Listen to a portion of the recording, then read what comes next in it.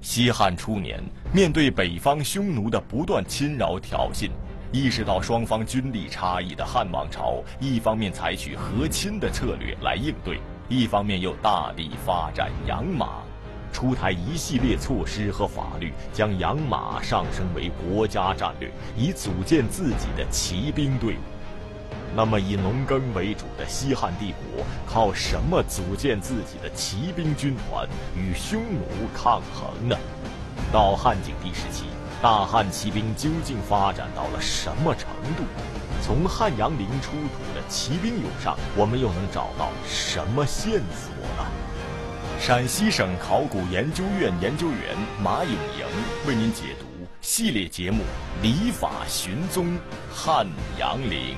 第三集，大汉铁骑。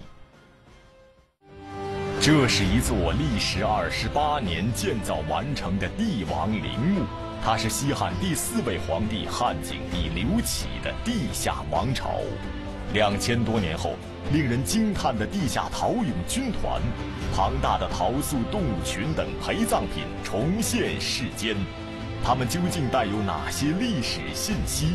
陵墓中的一切，是否就是汉景帝地上生活的真实写照？汉景帝统治时期是西汉历史上一个重要的发展阶段。作为当时政治和社会生活的缩影，这个神秘的地下王朝能否为我们了解西汉初期的政治制度、宫廷礼俗以及法律规范打开另一扇窗口呢？杨陵考古队队长、陕西省考古研究院研究员马永莹以考古发现为您再现一段鲜活的西汉历史系列节目《礼法寻踪汉阳陵》，敬请关注。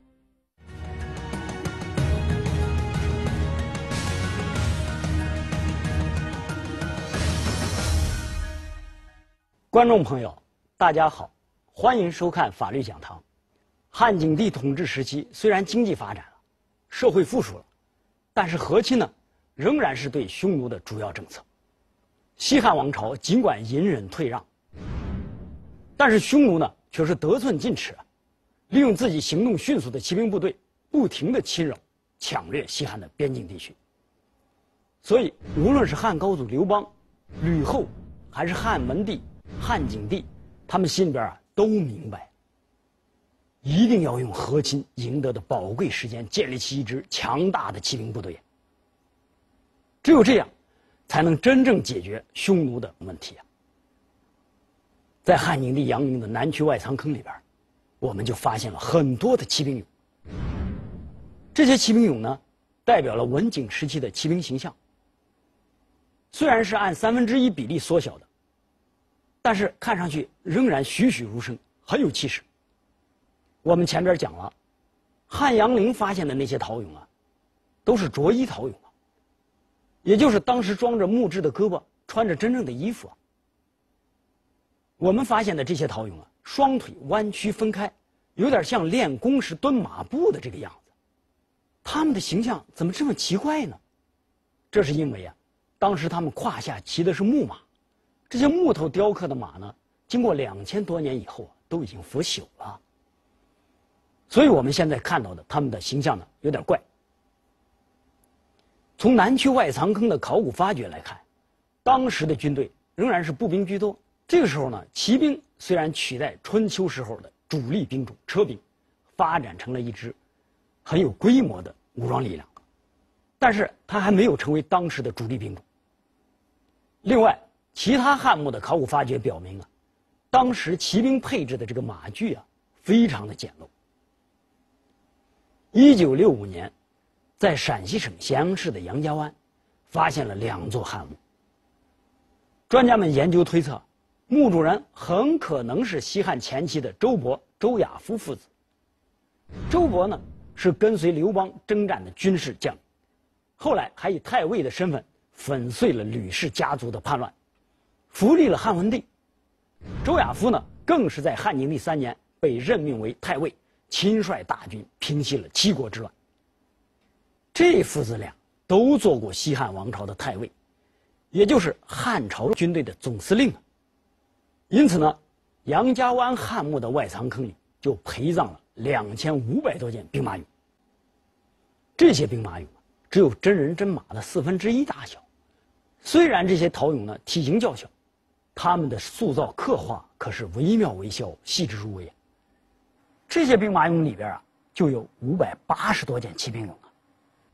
这些骑兵俑一个个雄赳赳、气昂昂，看着呢军容威武、气势不凡。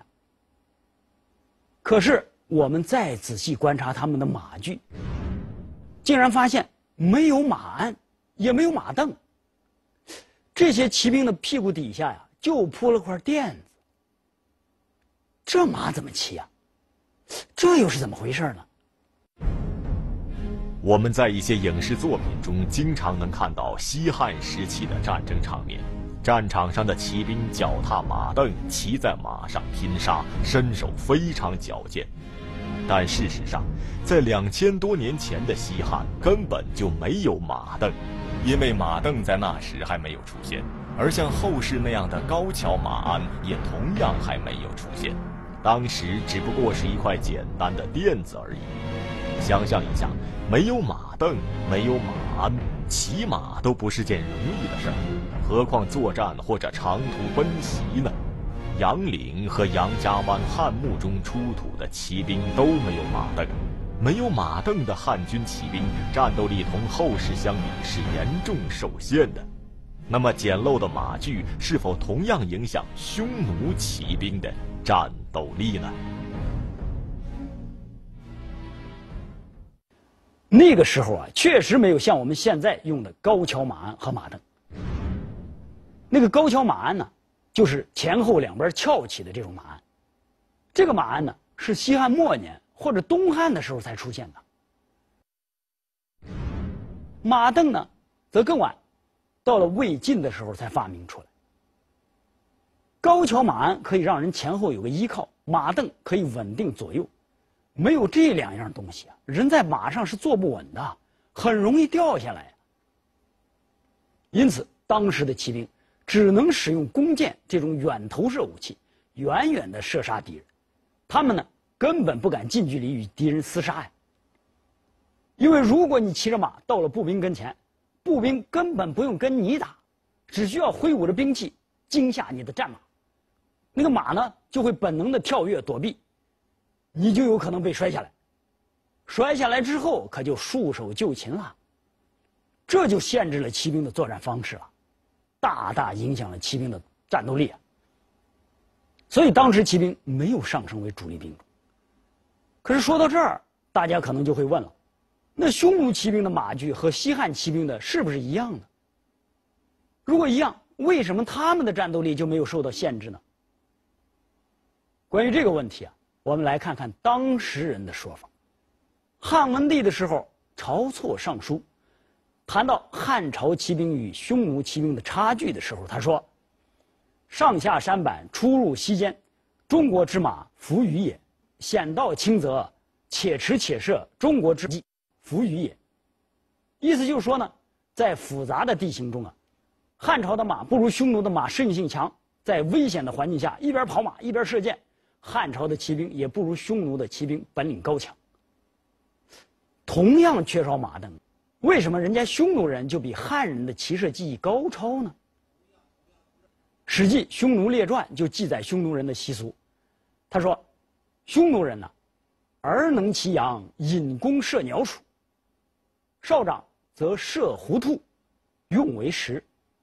势力能弯弓，尽为甲技。”意思就是说，匈奴人年幼的时候就学着骑羊，射杀小动物；随着年龄增长呢，他们又练习骑马，射杀狐狸和兔子等等这些大一点的动物。等到成人之后呢，自然就训练出了高超的骑射技艺。这样一来呢，匈奴全国都是能征善战、素养很高的骑兵啊。所以说，要想建立一支强大的骑兵部队。一是要有优良的战马，二呢要有善于骑射的士兵。那么这两个问题又该如何解决呢？汉初的时候，因为刚刚经历战乱，是马匹奇缺呀。《史记》就记载说呀，自天子不能具军祀，而将相或乘牛车。意思就是说，汉高祖刘邦作为当时的皇上，他想找四匹同样颜色的马来驾车都找不到。那些大臣呢，有的就只能坐牛车了。马就这样稀缺，你没有马，还谈什么发展骑兵啊？在发展骑兵这个问题上，同匈奴相比，汉王朝初期在各方面都处于劣势，这也促使西汉的统治者不仅鼓励民间养马，同时还动用国家力量建设有先进技术的国家养马场。此外，针对养马，他们还出台了一系列制度以及专门的法律，这就是汉代非常重要、对后世也颇有影响的马政建设。那么汉代的马政包括哪些内容？收效又如何呢？陕西省考古研究院研究员马永莹继续为您解读系列节目《礼法寻踪·汉阳陵》第三集《大汉铁骑》。所谓马政呢，就是政府对官用马匹的牧养、训练、使用。和采购等等这些方面的管理制度，而且当时丞相萧何制定的九章律里边啊，还专门有一章纠律。法律规定，盗马者死，就说只要盗窃马的人就被判处死刑，如果知情不报也要受到惩罚。可见呀，当时汉代对马匹的管理有着相当严厉的法律规定。吕后执政以后呢？曾经明令禁止母马从关中外流。在湖北江陵张家山的一座汉墓里边啊，就发现了记载吕后时期法律文件的竹简，其中呢就有不得把马匹私自运到关外的法律规定，即使是政府官员因公需要骑马或者乘坐马车出入关的，也得严格登记。可见啊，当时对马匹管理之严，除了严控马匹流失之外呢。政府还积极鼓励民间养马。这个汉文帝的时候呢，大臣晁错就提出，令民有车骑马一匹者，富足三人。他的意思就是说啊，如果老百姓家里养一匹马，就可以免除三个人的兵役啊。很明显，与出门在外当兵服役相比啊，在家里边养马显然更具有吸引力。因此呢，这一个政策。就极大的提高了民间的养马积极性啊！在鼓励民间养马的同时，政府也直接养马。《汉书》就记载，汉景帝的时候，在秦朝北方边郡原有养马场的基础上，大规模的建立了国家养马场。到了汉景帝后期，仅国家养马场的马呢，就达到三十多万匹，而且都是一些耐力超强、适应北方环境的良马、骏马。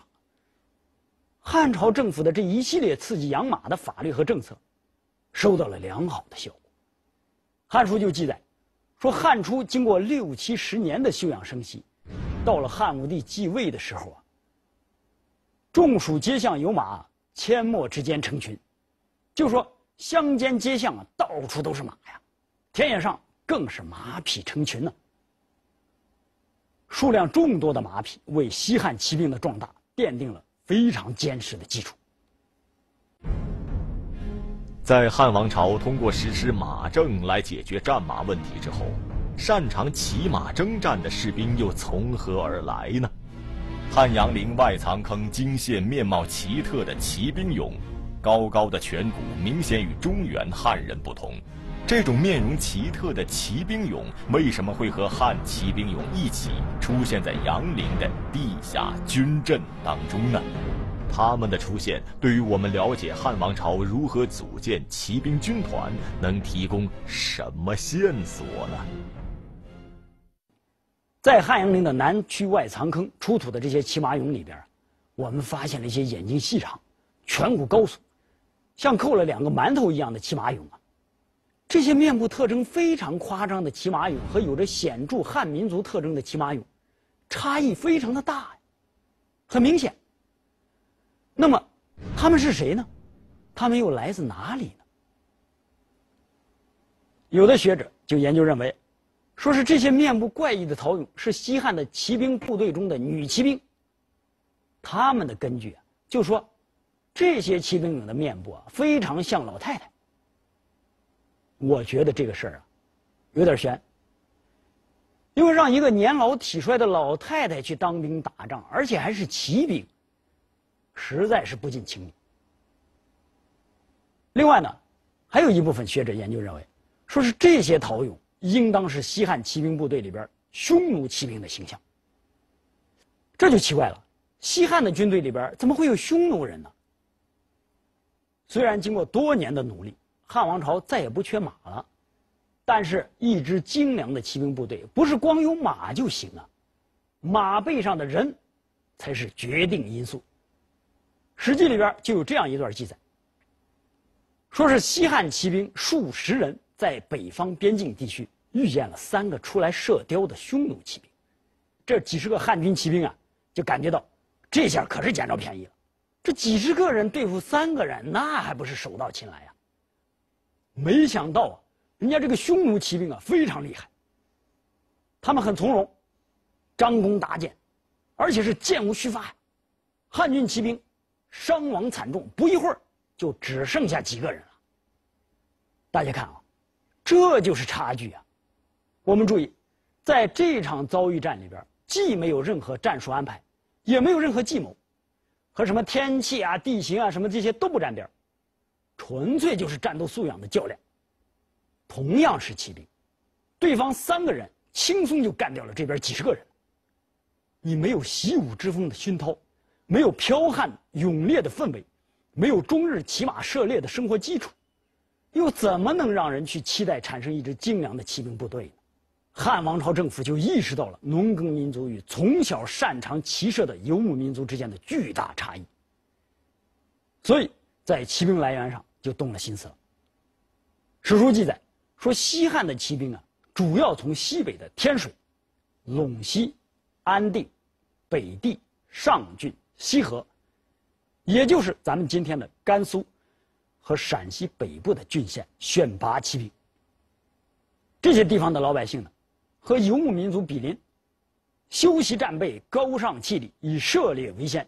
就说他们的风俗习惯、个人技能、身体素质都非常适合充当骑兵。汉代名将李广、李希、公孙贺等人都出自这些地区。我们上面讲到。几十名汉军骑兵被三个匈奴人，不一会儿就射杀殆尽，就说，就杀的没几个人了。这个时候呢，飞将军李广赶到了。这个形势呢，立刻就急转直下。当时那三位匈奴的射雕英雄啊，跑都来不及了，被他三下五除二就射死了俩，剩下的一个呢，也被活捉了回来。这是从汉族百姓中选拔骑兵。另外呢。汉朝政府还直接从游牧民族中吸收兵员，充当骑兵。汉文帝的时候，晁错就曾经建议，因为投降汉朝的西戎同样是游牧民族，他们的习俗和匈奴非常相近，因此呢，晁错就建议把他们和汉朝骑兵混编起来，这样子呢，就会形成一支精良的队伍。汉景帝的时候，有很多匈奴人来投降汉朝，我们推测。西汉王朝既然能够把西戎人吸收进自己的骑兵队伍，那么肯定也会吸收这些投降的匈奴人充当骑兵。到了汉武帝的时候，就设置了一个胡姬校尉，专门管理由匈奴人组成的骑兵队伍。这种成建制的匈奴骑兵队伍的出现，绝非偶然，应当是前边就打下了基础。因此呢，我们认为，在汉阳陵外藏坑里边发现的那些颧骨高耸。面貌奇特的骑兵俑，表现的正是汉王朝军队中匈奴骑兵的形象。用原本敌对的匈奴人来充实自己的军队，提高战斗力，显示出了汉王朝博大的胸襟和开放的气度。正因为骑兵实力的壮大，为汉武帝反击匈奴做好了军事上的准备。从汉初到汉景帝统治时期，西汉王朝一直在厉兵秣马，积蓄力量。到了汉武帝时期，西汉王朝终于迎来了反击匈奴的时刻。除了良马和勇将之外，大汉骑兵还有什么原本就有的优势可以作为制胜法宝呢？历经数十年努力组建的骑兵军团，能否在战场扬威，重塑大汉帝国的尊严呢？陕西省考古研究院研究员马永莹继续为您解读系列节目《礼法寻踪汉阳陵》第三集《大汉铁骑》。汉阳陵它不是一个单纯地理名园，它实际上是一个整个汉代社会全面的写照。它完整的把西汉中央集权的这个体制变成一条一条的外藏坑，通过这个反映当时西汉整体的政治结构。文景时期的这个制度啊，应该是创造文景之治，或者创造汉代盛世的一个基础。汉景帝应当说对文景之治的贡献呢，依然是非常突出的一个帝王。今天我们再回望这个文景之治，实际上有很多可借鉴的地方。汉阳陵是一个标本，是研究礼仪制度的一个标本，社会结构、宫廷生活、社会发展的水平都展现出来了。考古发现和历史文献记载结合起来，重新认识汉代社会。到了汉武帝的时候，经过几代人的努力，终于在国力和军力上。都达到了抗击匈奴的条件。在汉武帝的手里，一支强大的汉族骑兵部队最终成型了。这支部队呢，不仅有数十万匹品种优良的战马，而且还有精于骑射的士兵和战将。另外啊，这支军队还普遍配备了锋利的铁制武器。铁制武器可是西汉军队制胜的利器。在武器装备上，西汉占有绝对优势。当时，匈奴军队使用的绝大部分为青铜兵器，而汉军则配备了更加坚韧锋利的铁制兵器。战国时期，中国的冶铁技术已经有了很大的发展。到了汉代，随着冶铁锻造技术的发展和进步，铁制兵器更加成熟和普遍。这一点，汉阳陵考古提供了实物证据。考古工作者发现，那些兵俑的身边，除了铜足、弩机之外，绝大部分为铁制兵器，有铁戟、铁矛、铁剑、铁足等等。现在一切都准备好了，战马、良将、利器，再加上汉武帝的壮志与雄心。西汉王朝的这支骑兵军团能否与马背上长大的匈奴骑兵一决高下呢？汉武帝从元光二年开始，发动反击匈奴的战争。这场反击战呢，分为三个阶段。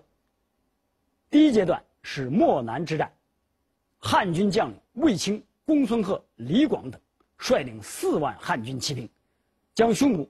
从河套以南地区赶了出去。后来呢，卫青又两次率领汉军骑兵十多万人深入大漠，突袭匈奴，抓获了匈奴的右贤王等高级贵族，斩杀俘获匈奴骑兵部众数万人。第二个战略阶段呢是河西之战，霍去病等率领汉军骑兵数万人，深入陇西匈奴地界两千多里啊，一直打到了祁连山，大败匈奴骑兵。俘获匈奴三万多人，这次战役啊，肃清了位于甘肃、青海的河西走廊一带的匈奴势力。第三个阶段是漠北之战。卫青、霍去病率领汉军骑兵主力二十四万人马，横渡大漠，追击北逃的匈奴军队。匈奴单于在大漠以北组织精锐部队，以逸待劳，打算与汉军决战。卫青这个时候就抓住战机，立即调整战略，命令主力骑兵呢迂回到匈奴军营的两翼，打算围歼单于。匈奴单于一看大事不好，急忙带领几百精锐骑兵是向西北突围而去。当时啊，这个单于呢狼狈的都找不着自己的马，找不着自己的车了，慌乱中坐着六匹骡子拉的车就跑了。霍去病呢，则率军深入漠北，与匈奴的左贤王的部队遭遇，经过激战，左贤王大败而逃，汉军斩杀俘获匈奴七万余人。霍去病的部队呢，还一直追到了贝加尔湖一带。经过这次决战，匈奴从此一蹶不振，再也不敢到大漠以南来了。经过这三个战略阶段，汉朝是控制了北方和西北大片的领土，而且。解除了长久以来匈奴的军事威胁，也结束了汉朝对外屈辱的政策。汉武帝之所以能够成功，与汉朝骑兵的发展壮大密不可分的。其实，从汉代骑兵军团的发展壮大来看，西汉统治者以战略的眼光发展经济和军事力量的轨迹，审时度势，不懈一己之愤，不逞一时之能。尽可能保持国内稳定的社会环境，争取实现壮大势力。好，感谢您收看这期节目，我们今天就到这里，明天再见。